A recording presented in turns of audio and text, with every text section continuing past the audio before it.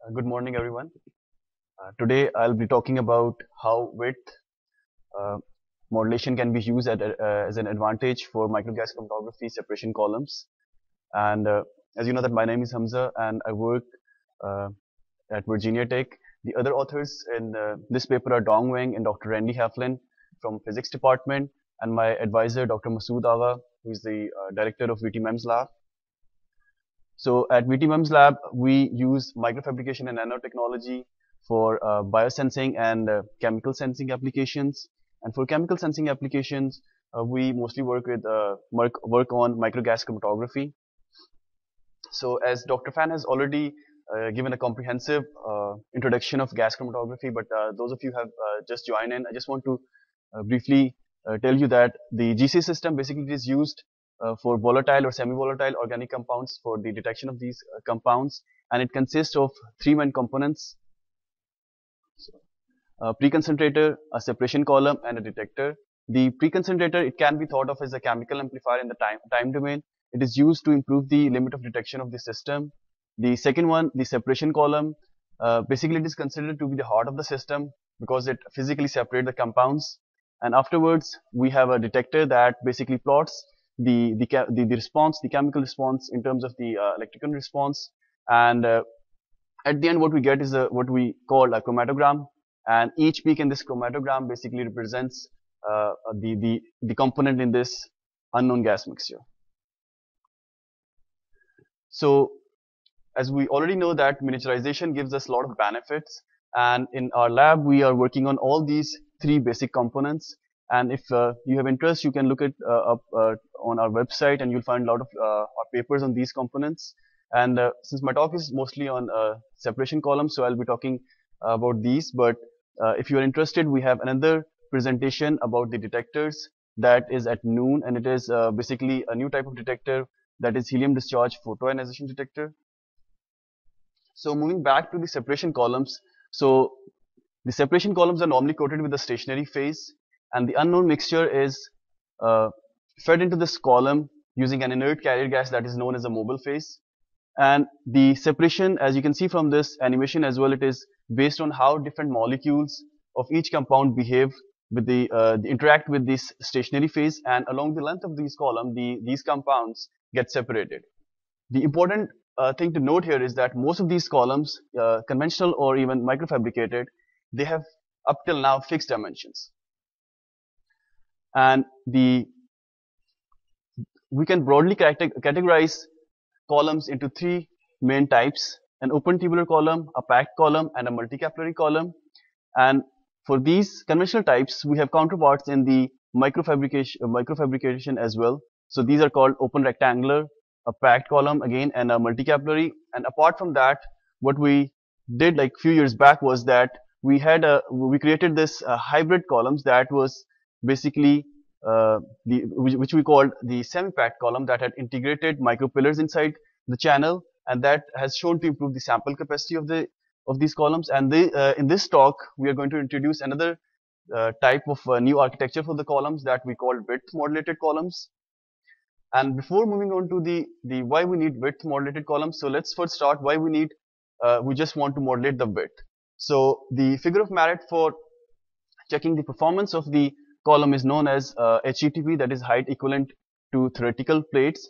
Basically, it tells you how uh, the uh, this is basically this basically tells you how uh, the band broadening is happening, and the narrower the the, the band of the, the of the peak, the better it is, and uh, it has been derived for rectangular open channels. So the HETP uh, is basically this kind of a complex equation.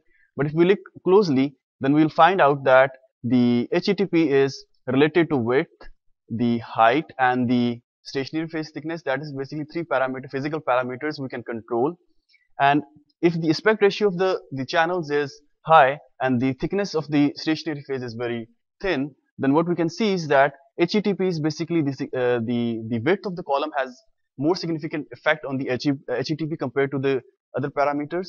So that is one of the main reasons why we are going for the modulated width modulated columns. And going back now, so this idea basically that the the gradual reduction in the adsorbent and uh, the the solvent adsorbent uh, interaction uh, can give us a very uh, similar capabilities as a tempera- uh, temperature programming or flow uh, programming was floated like way back in 1962 by Purnell. But since you know that the conventional column, it was not easy to fabricate the the columns which has variable widths. But uh, there have been reports of uh, vary, varying the stationary phase thickness along the length of the column. But most of the columns still now have the fixed dimension, uh, the cross sections or dimensions. And here what we did was that by using very simple lithographic uh, steps, we, we got, we modulated the, the column width. Uh, and what we got at the end was that these width modulated column uh, were, they, they gave us like around, uh, they gave us better uh, chromatographic efficiency, resolution and retention times. So what we have here is that basically it's a comparison of the two column profiles. One is a regular constant width column and the second one is a width modulated column. The uh, this one is a little bit exaggerated. If you uh, see that the the width is uh, modulated from 120 microns to 20 microns at a rate of 1 micrometer per centimeter. It is not that uh, much, but if you see that the the the the ports of this column, the it, it has changed from 120 to 20, and if you compare this column to a regular column, so what we notice is that uh, we cannot use each of these ports interchangeably as what we can use for the regular column. So that's why I have like this, these columns we consider as a bidirectional column. And these columns we, if we use uh, the, this port as an injection port, so it will give us a different response compared to what we are going to get from, uh, from using, sorry, from using this port as an injection port. The column fabrication, uh, it is very, uh, it requires very simple MEMS processes and we uh, anisotropically, uh, anisotropically etch the silicon wafer. This was followed by anodic regular anodic bonding. And what we did for stationary phase coating was we utilized our recently developed layer by layer technique for uh, coating the channels with silica nanoparticles. And afterwards, after uh, coating, we performed these uh, standard processes for uh, of calcination and silane functionalization. And if you have, if you want to know more about this, the nanoparticles coating, you can also see our recently published uh, paper in analytical chemistry. So how does this uh, stationary phase coating work? Is basically you stack up uh, different la uh, layers of silicon nanoparticles on top of each other, and they are binded with uh, together using a positively charged PAH layer. And uh, then with the with the help of this method, we can stack up different layers of the, these nanoparticles. And what we found out earlier was that by uh, by, by uh, the, the, the, the number of bilayers that gave us the best performance was around 10 bilayers and that basically gave us around 400 to 500 nanometers of stationary phase uh, thickness.